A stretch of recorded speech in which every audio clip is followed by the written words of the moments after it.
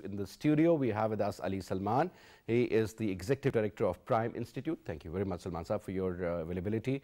Much awaited, but finally, it's been approved, talking about the seventh and the eighth tranche of the IMF program.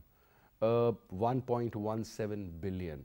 Well, dollar uh, obviously is getting a lot stronger in the international market, but perhaps rupee uh, seemed to be pretty positive as well. Gained 3 rupees against the dollar in today's trading. Uh, stock market wasn't very bullish as I earlier mentioned primarily because of the floods. Now sir, IMF program on one side with all the conditions associated and the current flood situation according to Ahsan Iqbal Saab, the infrastructure that has been destroyed uh, will require around $10 billion to be back to normal. Now, sir, $10 billion you're talking about. I mean, in addition to the already existing problems that we had. So, what is that supposed to mean? So I think let's uh, put the IMF program in the in the context first of all. Mm -hmm. um, we know that the discussion about the IMF revival program was in progress uh, for last uh, several months uh, since this government took over, and we also know that pr the program was practically suspended uh, for a longer time period. And uh, we should definitely welcome the revival of the IMF program. And I think it's a, it's a good news in uh, when the time when Pakistan's economy really needed such a you know good news. Um, and, and this program revival should not just be looked at uh, in the terms of the uh, dollars mm -hmm. value, but I think largely um, as a symbol, I would say, of uh, confidence of international financial institutions. And we hope that perception, basically. Um, perception, but also I think the commitment and the credibility. Uh, because uh, you know, if you look at the IMF program, and if you look at uh, this is uh, you know this is not just a one-way document. Mm -hmm. It's a commitment which the government of Pakistan has provided to the international uh, financial institution, institution to carry out certain reforms uh, mm-hmm. following it. Mm -hmm.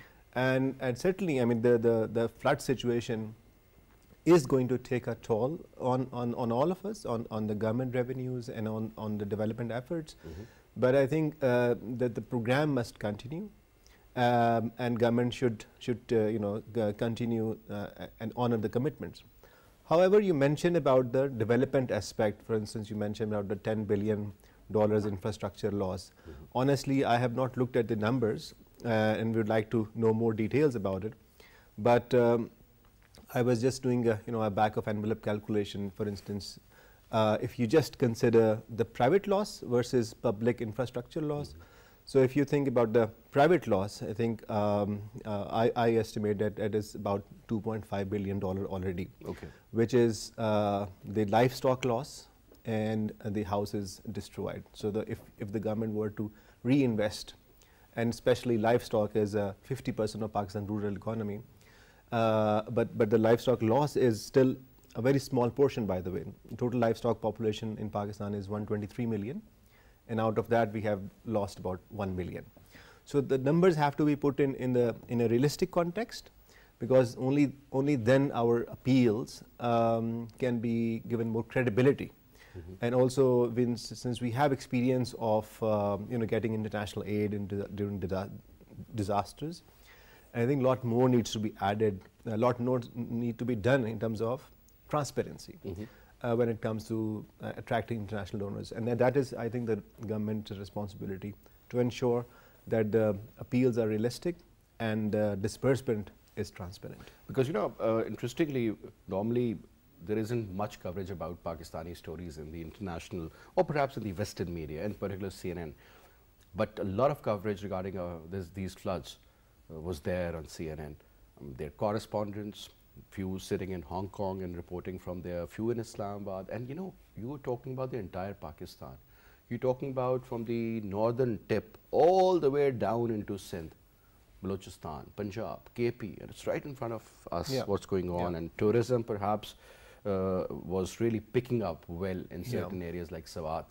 But since the infrastructure is gone, I mean, I was surprised to see those visuals when those huge hotels were swept away like anything and uh, was very surprising. I but we, I think we really we need, need, to, put in a, a, bigger context and we need to see, how, I mean, of course the visuals are, are very effective, but I would like to see greater details about you know, the damage done. I think that is going to take another few weeks. yeah. Additional point to what uh, Akhtas was saying, uh, I think it is important to you know re- revisit our PSDP right now, Mm-hmm. and and you know revisit our priorities. And in, in my opinion, uh, government um, actually should stop the current allocation of PSDP, and give the top priority to rehabilitation uh, from the, of the flood affected areas, both in terms of the property but also in terms of the infrastructure. Uh, When you look at uh, uh, Pakistan, I was going through an article, and very interesting analysis uh, were, were perhaps drawn within uh, the first two, three, four uh, uh, paragraphs. You know what it said? It said because of the geostrategic uh, location of Pakistan, uh, Pakistan cannot default. And then there were few reasons for that also. But sir, this is a blessing in disguise, unfortunately, isn't it? Yeah, I think we, we have uh, in, in the past, we, uh, you know, our strategy or, or I would say even economic strategy has been largely driven uh, by this belief that our location is, uh, is of critical importance to the region and, and to, you know, to, the, to world powers. And, and that has actually what has, it, it has done to our economic strategy that it has, you know, taken away our attention um, of the potential which Pakistan society, which Pakistan's own private economy, people, enterprises, entrepreneurs have. And we have looked outside uh, because somehow we are driven by this geostrategic importance uh, perception. I mean, this is true, and we can't um, uh, choose our geography and we can't choose our neighbors. So we are where we are. But I think uh, we, we definitely need to take ourselves out from this perception now and, and, and focus on, uh, on the issues and the challenges. And if you, uh, you know, for instance, we have been uh, in, in this context of the floods, uh, you must have seen those images, for instance, uh, you know, we needed, we need more helicopters who could more be uh, deployed in the rescue operation. Yes, uh, we have helicopters, let's say in the defense sector, but maybe those helicopters are not well suited for rescue operation, for rehabilitation operations, where we actually need to divert more resources. So if you just look at this example of floods and where we need to give more resources, I think this this this explains that what what we need to change. Uh, and you know these natural disasters are unfortunately uh, offers us a stark reminder, and and this is not a very pleasant reminder uh, of how we need to uh, reallocate our resources. I remember in the year 2005, post this very, very unfortunate incident, the earthquake, Yes. 8th October, American Chinooks. We had helicopters coming in from South Africa, medical teams from Turkey, Cuba, you name it. Yes. I mean, the rescue and relief was at its optimum Yeah. level. Still, sir, uh, many people were not finally compensated, even after 17, 18 years. Now, this is that was only in a certain area, as big as Switzerland, perhaps. This is all over Pakistan.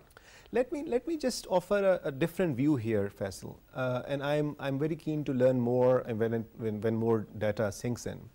Uh, then half of Pakistan's, of course, is Balochistan, and and uh, in terms of the area, a little bit more than half perhaps, but only five percent of Pakistan's population is is in in Balochistan.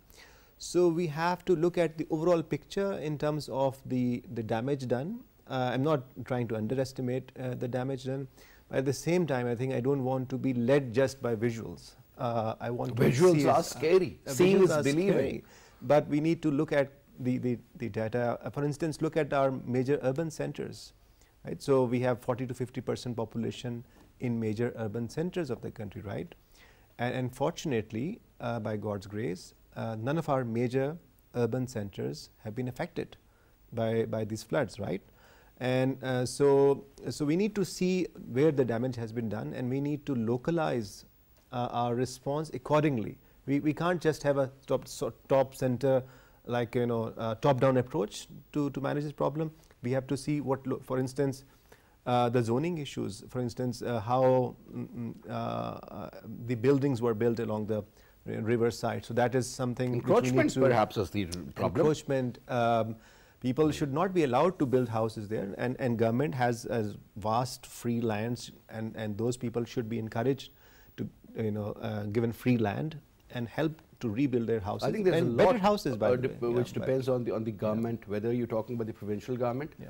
district government, or the federal government. That's right, I think there has to be a proper synchronization. There has to be a proper element of uh, synergy. which is missing which, Which is missing. I think um, let me also say say some- something like like on on the political or let's say on the national level uh, the prime minister called for an apc uh, it may be seen positively but i think there was no need of call an apc right now.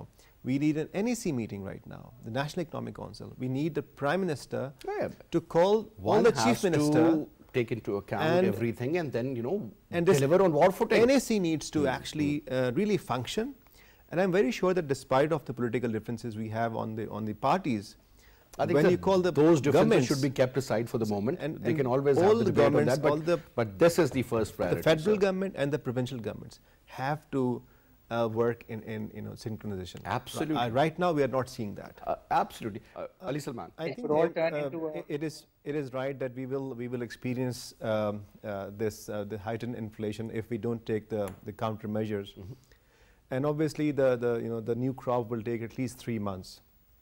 But in the short term, and at, the, as they say that the no crisis should be waste, every crisis offers an opportunity. If we open Wagah border, as it used to be open uh, before 2016, um, and if you recall, the prices of onions and, and you know the tomatoes and uh, many other vegetables which we used to import through Wagah border were actually you know reasonably stabilized because trade uh, offers uh, this opportunity to farmers and consumers on both sides of the border. And you know what the prices are these days of onion and And tomatoes? This should be the short to term. 5 rup- I 500 know. I have bought it myself. Just imagine. exactly, and so this is a short-term solution, uh, but this, this should be maintained uh, across the border, and this is this is where we pro pro probably need to to go. One more uh, comment I want you to, in fact, uh, uh, really throw light on is uh, now, so when we talk about the river banks, obviously when the rivers will uh, sw- and swollen rivers means that you know there are no banks. Like the visuals that we were going through of uh, Kabul and Sindh, I mean, we had no clue, honestly speaking, where the bank is because it's just water. Somebody sent me a picture from a helicopter Lasbela. Honestly, just a few houses and it was water everywhere. You talk about uh, Nasirabad, you talk about Jafarabad. I mean, it just areas uh, along with Sindh and Balochistan. DG Khan, DI Khan. I mean, all over except for the slightly, you know, uh, inward and uh, those districts which were away from the uh, river rivers primarily. The floods, they are still there, so another spell most likely is going to be there in the coming days. I hope it doesn't come. But what I'm saying is that, sir, you, you do not have any control over the nature. Don't you think, sir, like uh, in the 2005 earthquake, uh, when we went through all that, because a lot of people died because of these lenters and the weight of it when it fell, uh, you know, even in the schools and otherwise in houses. A lot of houses just Wh- went down.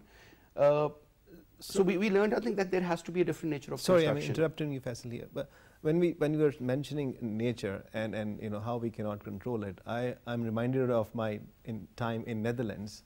So that's And, a uh, different ball. I mean, these people like- have mastered the art of making canals and, so even are- saying no to the sea. They are human beings. They have Rotterdam, look at that. They Yeah. are like historically it's like low-lying uh, country, and how they have built and created you know new new cities from the seas. So I think it's a question of uh, the the design. It's a question of allocation of resources. It's a question of putting the right. it's a question money. of will. It's a question of will. It's yes. I It's mean, nature, nature has nature has its challenges, and but then all over the world, uh, the countries have you know learned to live alongside the rivers. Actually, the you know the be most beautiful cities are still like in in Europe, in US, are alongside the river. We don't have such places. We don't. Our cities are like away from the rivers uh, most of the time, uh, because we haven't really managed uh, the the river banks. We haven't really managed our water canal systems in in that fashion. We have not looked at that aspect. So, so yes, I think nature offers challenges, but also then the human being. There are opportunities there as well. But anyway, sir, thank you very much, Ali Salman.